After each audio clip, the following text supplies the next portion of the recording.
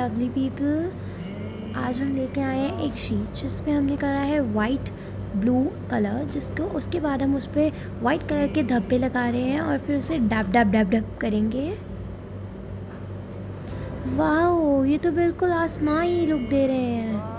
आसमां। अब हमने लिया है ग्रीन कलर जिससे हम पा, पाम ट्री की लीव्स बना रहे हैं।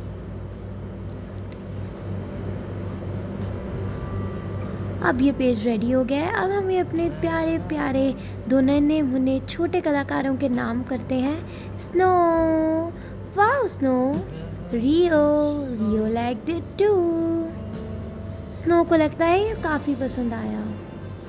रियो और स्नो की तरफ़ से सबको प्यार भरी नमस्कार।